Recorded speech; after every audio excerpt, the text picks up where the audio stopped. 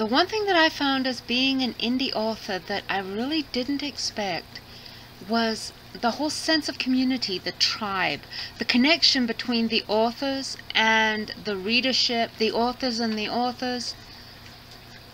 It's something that's almost indescribable about finding your people, finding people who energize you, who bring out the creative in you, who mentor that and encourage that, whether it's through their own writing or through one-on-one interaction or through readers who are just hungry for more good work.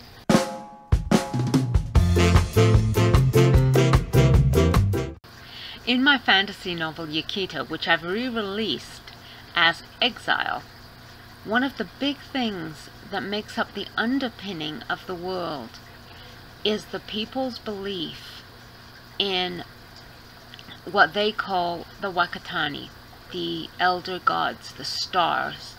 They believe that the gods in these stars guide their lives, that they guide their history, that they've actually taken a hand and acted for the behalf of the people. A main underlying principle in the book is what happens when these things that you have believed for so long, that you have prayed to, have walked in, have believed in, all of a sudden are in front of you in the form of a very fallible, fairly stuck up, absolutely obnoxious, somewhat unlikable young man who is absolutely not godlike, doesn't know half the things that you, as a villager, know. And you have to deal with the fact that these creatures that you have revered are different and have abilities, but they are not gods. And I think that shift of perspective and power in the village makes a very interesting underplay to the action of this series.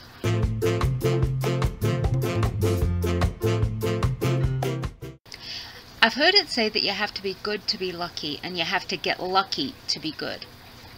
I'd argue with that because there are a lot of things that you can't alter as far as how your career in writing or any type of indie art goes.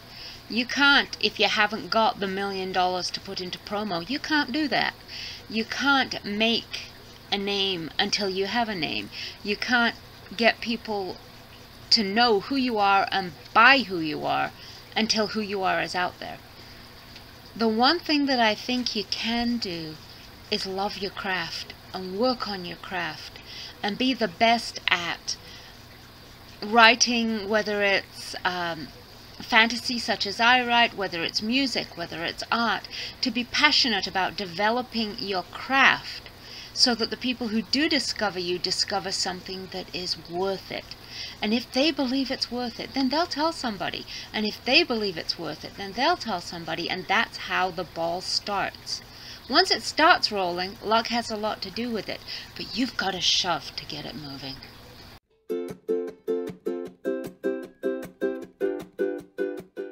I'll prepare myself for stardom. That is so not going to be there. Self-doubt is humongous. I have fight with self-doubt every time I sit at a computer, every time I pick up a pen. It's not good enough. It's not Guy Gavriel Kay. It's not Shakespeare. It's not Neil Gaiman. It's not, no, it's not. It's Sandra. The one thing that I work on to really convince myself that this craziness is worth it is exactly that.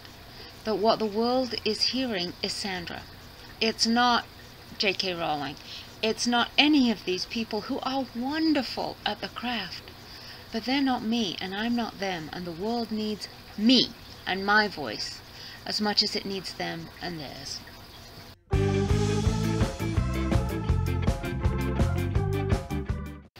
I've always been a fan, whether it's a fan of Star Trek, Star Wars, Doctor Who, Red Dwarf, or any science fiction from the 60s, 70s, 80s you can name or a fan of certain writers, I would give my left ovary to get a hold of Guy Gavriel Kay's notes for writing Tigana.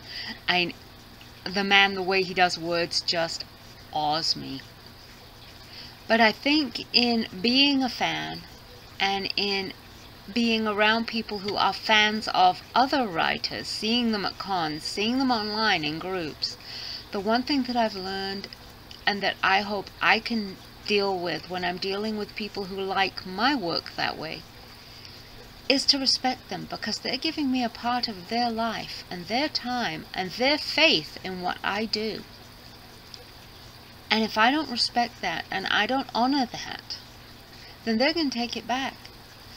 And if I haven't got it, then I've got nothing. I'm writing into an echo chamber, and nobody's hearing the words but me. My books are all available on Amazon, Barnes & Noble, Kobo, uh, through Walmart online, and basically anywhere and everywhere. I have a blog site at uh, www.delusionsofliteracy.com.